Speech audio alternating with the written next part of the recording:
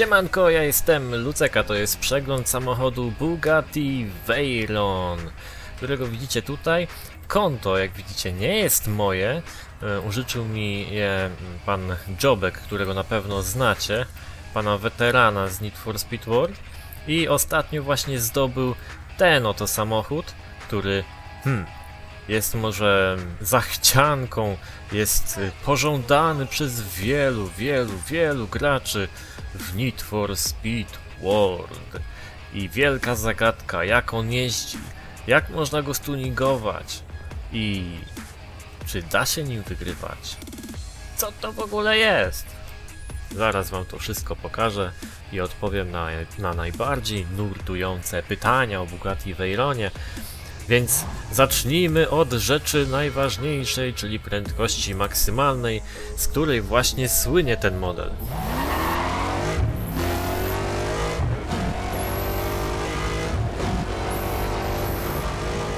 Jak słyszycie, wóz brzmi naprawdę bardzo, bardzo fajnie.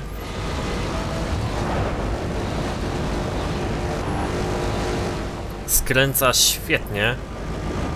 I zobaczmy. 312.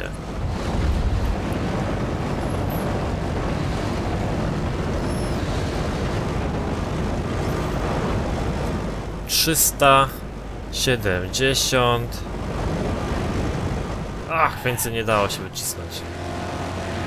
No to teraz taka zagadka, ile wyciągnie z nitrem.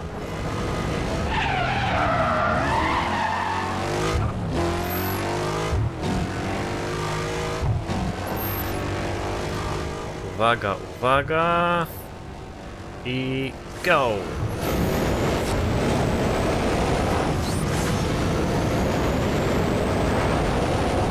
Czterysta osiemnaście kilometrów na godzinę. Zabójcza prędkość. Jest masakra, jak widzieliście. Wcale nie tak trudno ją osiągnąłem, wciskając nitro. Prędkość maksymalną swoją bez y, power-upów osiąga też dosyć, y, dosyć dobrze. Chociaż przyspieszenie no jednak nie jest tutaj najlepsze, jak pewnie już wielu z was słyszało o tym. E, ale jest naprawdę super prowadzenie, jest ekstra. I zaraz się na pewno gdzieś przejedziemy, zobaczymy jak ten wóz poradzi sobie na wyścigach. Jeszcze zobaczmy jak wejdę w ten zakręt. I o!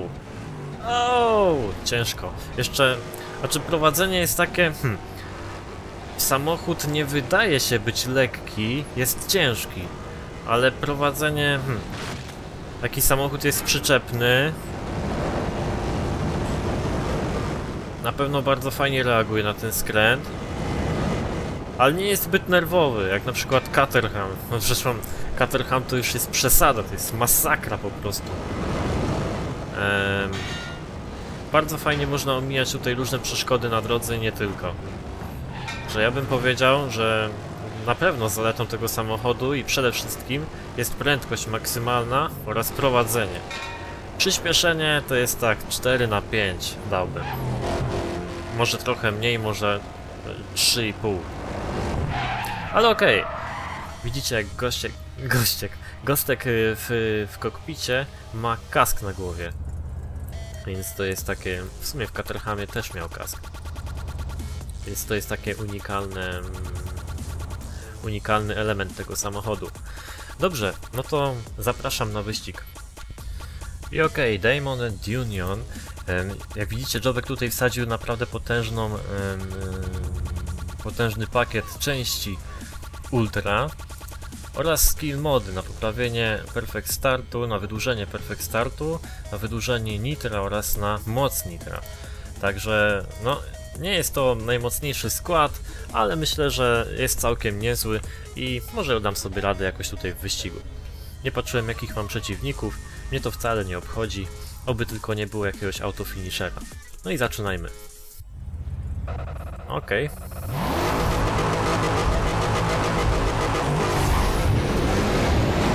Wow, wow, wow. O! Sorki. Jedziemy bez power-upów na razie. Chociaż nie wiem. Może sobie power-upujemy. Co wy na to? Bam! Lecimy. Chyba doganiam RTRX-a z przodu.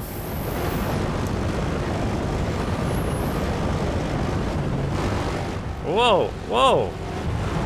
Tu mi trochę zabrakło tego skrętu, choć jechałem naprawdę bardzo szybko. Chodź tu RTRX.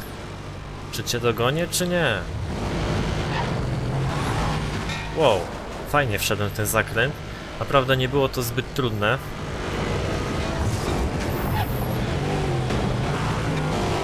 Zobaczymy tutaj jak sobie poradzę. Oj, oj, oj. Jakiś LFA. Super, ekstra, tuning rosyjski.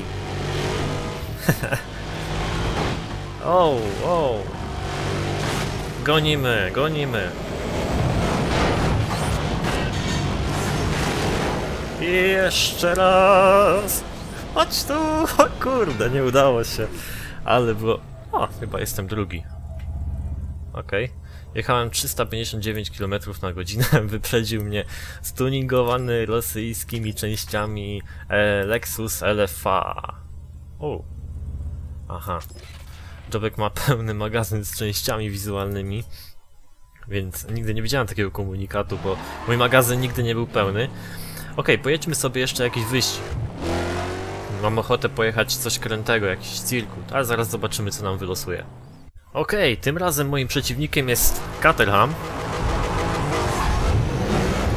A ta trasa nazywa się North Bay and Harbor.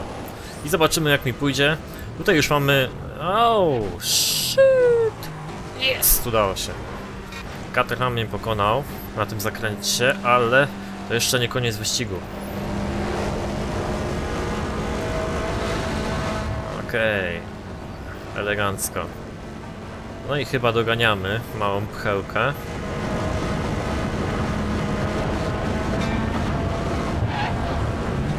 I goodbye. Wow! Nieco mnie zarzuciło, czyli Waylon wygląda na to, że jest y, podatny na jakieś tam wow, poś poślizgi. Wow!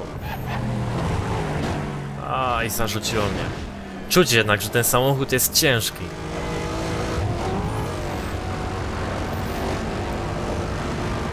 Goni mnie, goni mnie pchełka!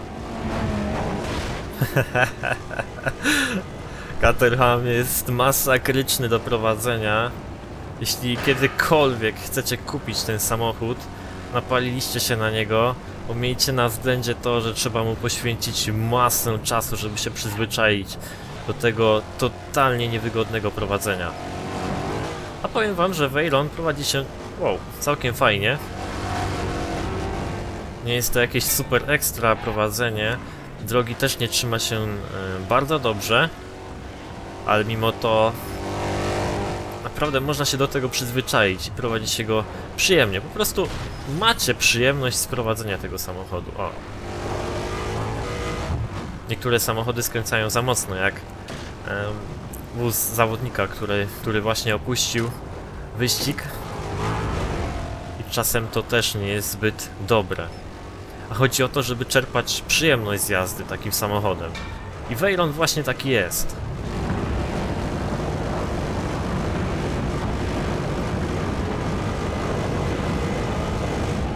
Brzmi naprawdę bardzo przyjemnie. Dojechałem na metę pierwszy, a nie mogło być inaczej, bo po prostu mój przeciwnik wyszedł z wyścigu po jakiejś tam, po jakimś, po jakiejś tam mm, mocnej mm, rozwałce na trasie. Kurde, język mi się plącza, ale jestem podniecony tak samo jak i wy. W końcu to jest Veyron, samochód, na który czekałem i czekali wszyscy gracze od początku Need for Speed World, od zamkniętej bety, od otwartej bety. I oto jest. Mam okazję go i przyjemność testować. I chcę pojechać jeszcze jakiś wyścig, koniecznie.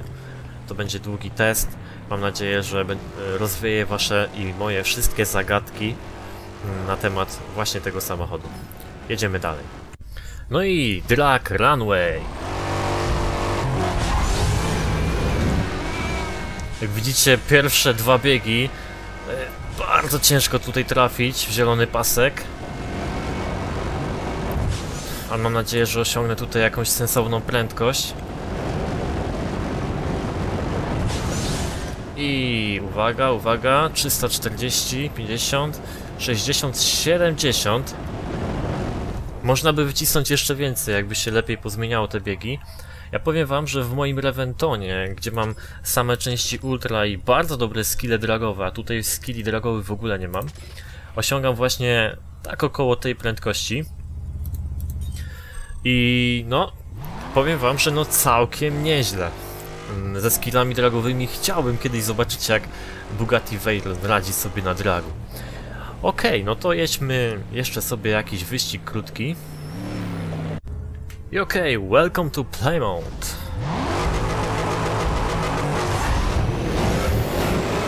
Naprzeciw mnie jest Porsche, oh shit, GT3 RS 4.0, która właśnie mnie wyprzedziła. Ehm, to jest właśnie ta sama podszawka, którą dostaliśmy ostatnio z kodu. Wow.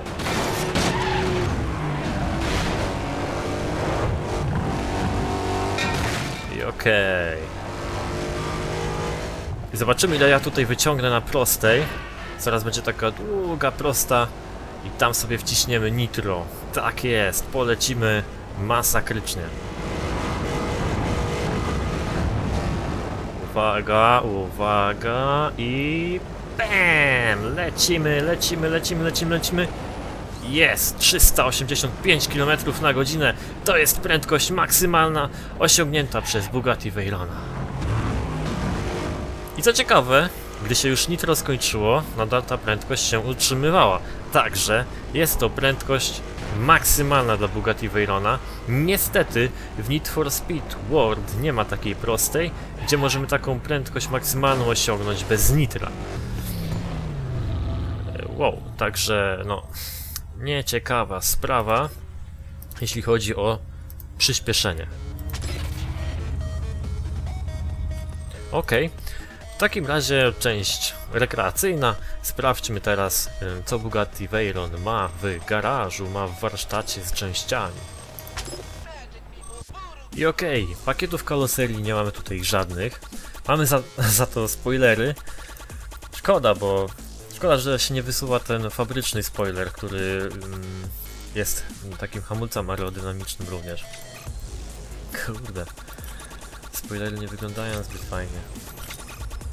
No i są tu jakieś zakasy z gry 2, ale to nie wiem czy to fajnie wygląda. Jakby był ten fabryczny to by było ekstra. Także nie mamy tutaj dużo rzeczy do tuningowania, ale myślę, że Bugatti wygląda fajnie bez tego. No i cóż, w zasadzie ja nie mam nic tutaj do pokazywania, bo Bugatti Veyron, Bugatti Veyrona nie ma nawet u dealera samochodowego. Jest e, obecnie tylko em, e, dostępny za za osiągnięcia, czyli możemy go dostać za 5000 punktów z osiągnięć, jak już chyba każdy wie. Także cóż, ja co mogłem, to wam przekazałem i powiedziałem. Ogólnie rzecz biorąc, Bugatti Veyron trochę, trochę go zarzuca. Porównałbym skręt, bardzo w sumie podobny skręt ma do Mustanga RTRX-a. E, Skręca w sumie bardzo podobnie. Też go trochę zarzuca. Też łapie przyczepność w drugiej takiej fazie skrętu. I no cóż, ma mocne nitro, co chyba oczywiste.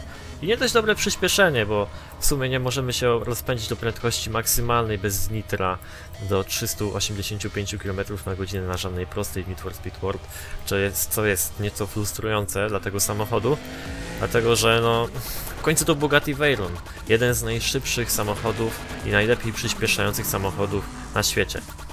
No cóż, takie jest moje zdanie.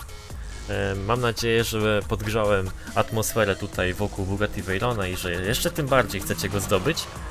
A tymczasem ja się z wami żegnam i bardzo dziękuję Jobkowi za udostępnienie mi swojego konta. Trzymajcie się, na razie, hej!